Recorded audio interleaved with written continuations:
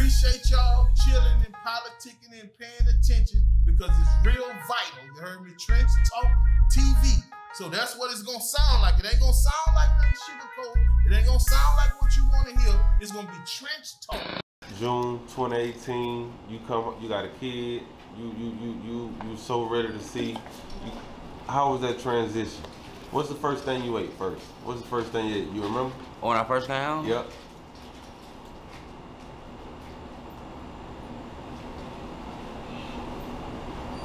Kiwi Gangster with you? What Kiwi Gangster with I'm listening.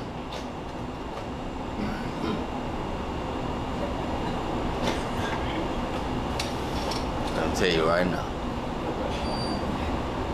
Oh. I don't even know. I know I, I, I know this for sure though. That ain't important. I know this for sure though.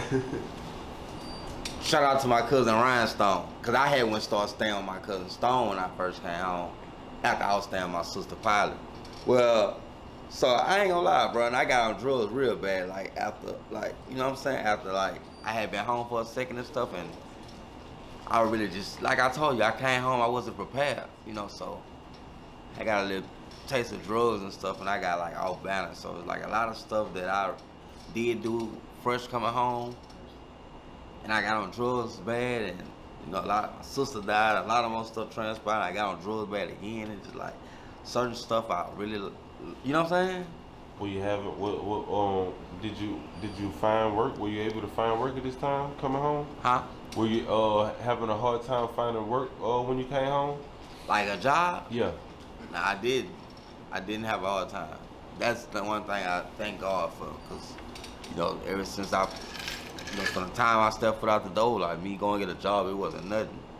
You know what I'm saying? Like that's a blessing, bro. It's- it you were able to hold it together pretty good because I from the outside looking in I couldn't tell anything about being on no drugs anything man I, know you came home and it looked like you got straight to it as far as uh, pursuing a rap career Mhm.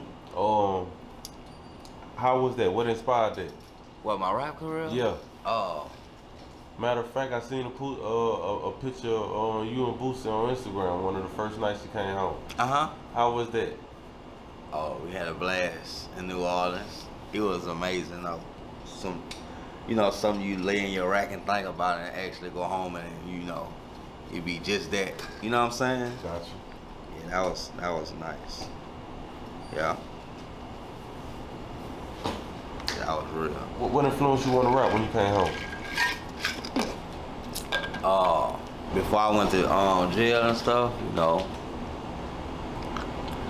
you know, me and Boo had did that at prime time song, right right right you know, and plus I we used to already do this some this songs and stuff on my block, you know.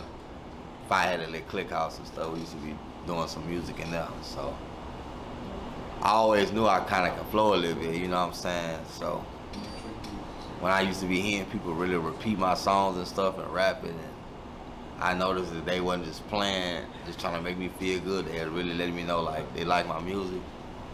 That's when I started saying, well, man, I'm just try it, you know what I'm saying, to see, you know.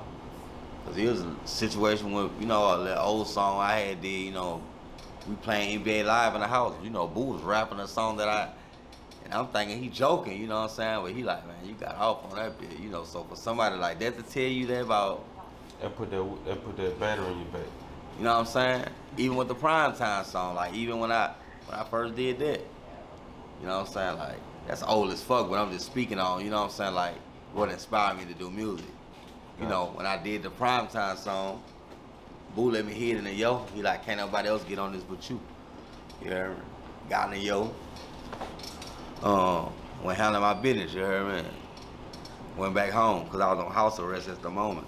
So, um, probably that's the dead Ghost and Ghost and Larry, they called me. They're like, man, Boo fucking with that song, you heard me? I'm like, yeah. They put him on the phone. Oh, he like, man, you did your shit, man.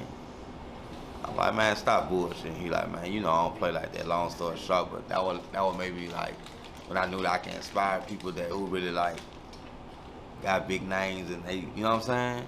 Yeah. What's your favorite? Uh, what's your favorite song off your uh latest project, Tunnel Vision?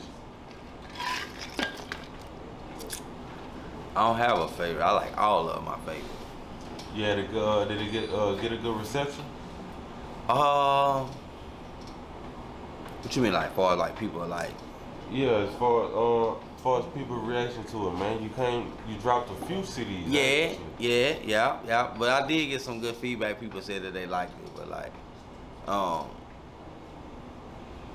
that's not really a problem I have. Like even like with like with views and like getting like certain people to like, you know, like that's not really like a problem. Like some people have more, but that's that's just a blessing that they have. You know what I'm saying? Like I don't compare like what I have and whoever have more than me. Like I ain't doing my thing. Like you know, cause they got some people that really have what it takes to be a rapper, got the money, the the, the all the right stuff, but they just can't get no. You know, the real independent grind.